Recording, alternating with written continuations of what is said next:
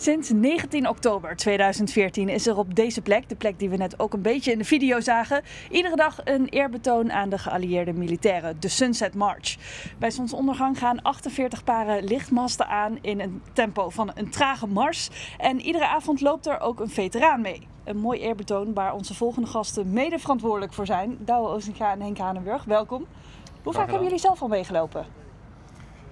Ik denk Henk al heel wat vaker dan, uh, dan ik, maar zeker in de, in de begindagen, in de pioniersdagen loop je heel vaak. Maar uh, tegenwoordig hoeft dat wat minder vaak. Hoeft het Hoef, wat minder vaak? Het hoeft wat minder vaak omdat er voldoende andere mensen komen. Precies, we hebben uh, flink wat aanwas, een sterk team, team 31 noemen we dat. en daarmee dekken we eigenlijk elke maand weer de bezetting voor het dagelijkse uh, dagelijkse voltrekking. Wisten jullie waar jullie eigenlijk aan begonnen? Want je, je denkt, je hebt de oversteek, we gaan dat doen. En dan denk je van god, je kunt een maand vooruit kijken. Uh, maar 2014, 2015 ligt al ver achter ons. Hè? En ja. elke avond zijn er mensen. Ja, ja.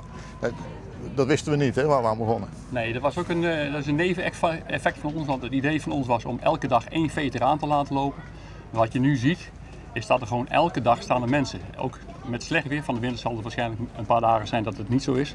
Maar met mooi weer staan er altijd mensen. Dus de keer dat je nog alleen loopt, komt bijna niet meer voor. Ja. Voor jullie als veteranen, dus niet alleen stilstaan bij uh, eh, 25 jaar geleden nu. Maar ook stilstaan, jullie hebben ook voor Nederland gevochten op verschillende plekken.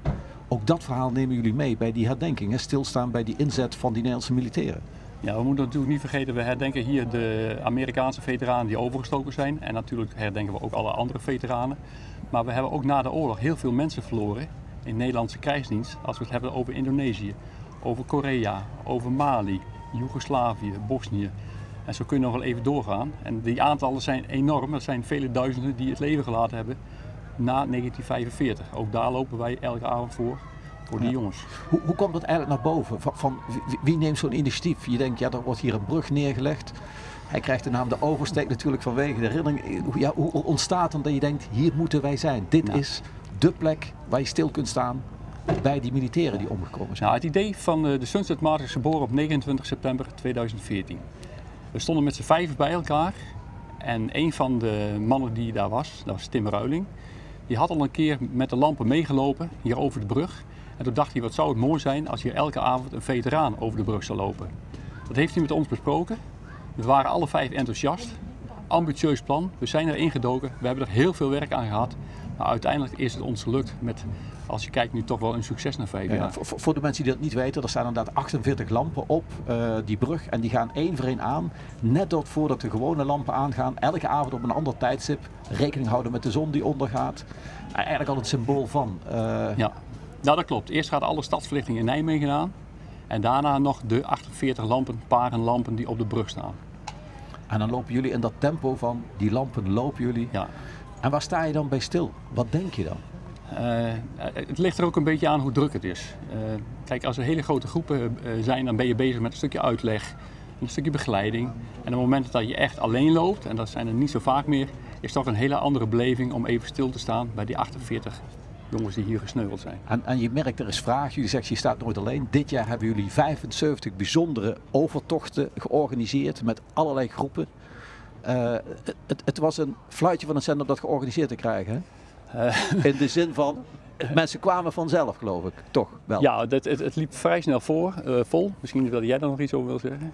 Nou, de, de, uh, aanmeldingen zijn er uh, te over. Hè. Uh, we lopen ook echt qua belangstelling wel over de, over de 75 heen. Um, um, maar om de coördinatie te doen, dat is natuurlijk een boel, een boel werk, een boel afstemwerk. En daar heeft onze voorzitter een, een, hele dikke rol in gespeeld. Um, en, en, en, met, en met fantastisch resultaat moet ik zeggen. het is mooi voor elkaar gebokst en we hebben 75 tevreden mooie sunsetmaatjes ja, ja. kunnen maken. Wat, wat, wat, wat, wat krijgen die mensen mee die meegelopen hebben? Wat, wat merk je aan hun reacties als ze bij uh, de, de plaketten staan aan de Oosterhoutse dijk? Mensen vinden het indrukwekkend over het algemeen. Zeker ook omdat we, uh, wij willen eigenlijk dat het uh, waardig en respectvol gebeurt. En dat is dus, in onze beleving is dat in stilte. En als je in stilte loopt en je loopt langs die, langs die lantaarns, dan is dat een, voor veel mensen een, een moment van reflectie. Hebben mensen ook wel zelf mensen die ze kennen die ze verloren hebben. En als dat niet zo is, dan zijn die 48 namen, 48 mannen die daar gesneuveld zijn. Daar word je bij elke lamp mee geconfronteerd. Dus het is wel een moment dat je ook diep van binnen een, een, een bezinningsmoment voelt.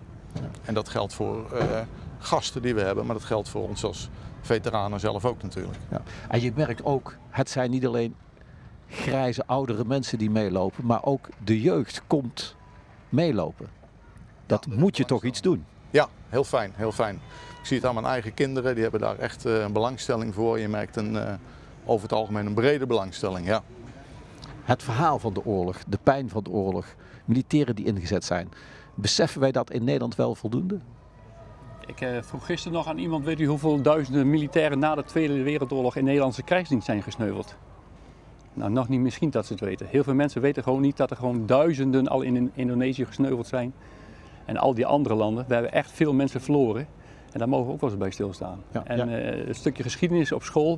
We geven wel eens een keer voorlichting over een stukje Sunset March en Market Garden, wat hier gebeurd is dan denk ik, er is nog wel een, eh, een, weg te gaan om daar die kennis bij te brengen bij iedereen. Want als ik vraag wat is hier in Nijmegen gebeurd en een kind zegt er is een bom gevallen, maar weet voor de god bij de rest niet wat er gebeurd is. Bijvoorbeeld een heel stadscentrum is weggevaagd, dan denk ik dat we nog wel iets, uh, een taak hebben om daar wat uh, aan te doen. Nou ja, kijk, als je rond Nijmegen kijkt, uh, daar liggen militaire grafvelden, daar liggen 50.000 geallieerde militairen. Ja. In een straal van 10, 15 kilometer rond Nijmegen. Ja, ja dan is het Feyenoordstadion vol, hè? Ja. Hele vreemde vergelijking, maar ja, dat zijn aantallen, dat, dat kun je niet bedenken. Nee.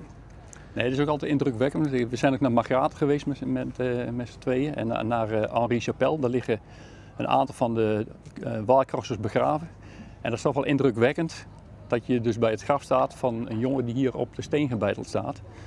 er liggen er, zover ik weet, 18 in Margraten. Eén in Henri Chapelle, die is daarheen gebracht, hier gewond geraakt, daar overleden. En wat ook bijzonder is, we waren er ook nog één kwijt. Willie Jenkins was missed in action. Uh, die was begraven als onbekende soldaat. En die is aan de hand van DNA hebben ze kunnen achterhalen wie hij was. En hij is vorig jaar teruggebracht naar Amerika.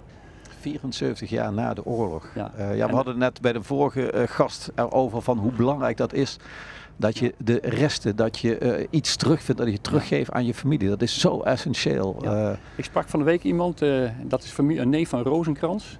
En die is ook teruggevonden als onbekende soldaat.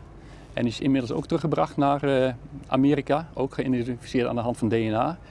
En daar hebben ze gisteren een roosje voor zijn naam geplaatst op Margraten. En dat betekent dus dat hij weer gevonden is. Ja.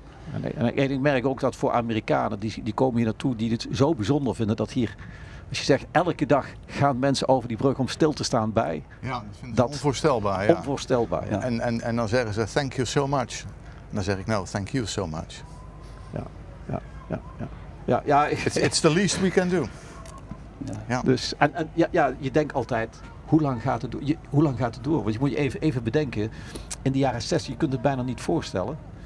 Uh, toen stond bij 4, 5 mei in Nijmegen en überhaupt in Nederland stonden zelden nog mensen. werd nauwelijks herdacht. Nou, het is nu 25 jaar de oorlog. Ja. hoe lang blijven wij dit herinneren? Hoe lang is de noodzaak om het te blijven herinneren? Uh, wij blijven in ieder geval lopen, zeggen we, tot er geen veteranen meer zijn. Hier over de brug. En dat vinden wij belangrijk en uh, het denken is belangrijk. En toen vroeg ons inderdaad iemand dus een keer van hoe lang doen jullie dat? En dat, die kreeg dat als antwoord. Zolang er veteranen zijn, lopen wij over de brug. Ja. En het zijn niet alleen veteranen van hier, maar ze komen overal vandaan. Nou, het is heel bijzonder. We hebben natuurlijk Amerikanen die hier komen, Engelsen, uh, maar ook Duitse veteranen. En 22 februari is omarmd door een groep Duitse militairen uit Kalkar. En die komen elk jaar op 22 februari, de datum van het bombardement, een krans leggen bij het monument. Uh, dat hebben ze vorig jaar voor de eerste keer gedaan, dit jaar voor de tweede keer. En volgend jaar op 22 februari zijn ze er weer om de krans te leggen. Dus dat is ook heel indrukwekkend dat dat gebeurt. Absoluut. Dank voor jullie komst en voor jullie verhaal.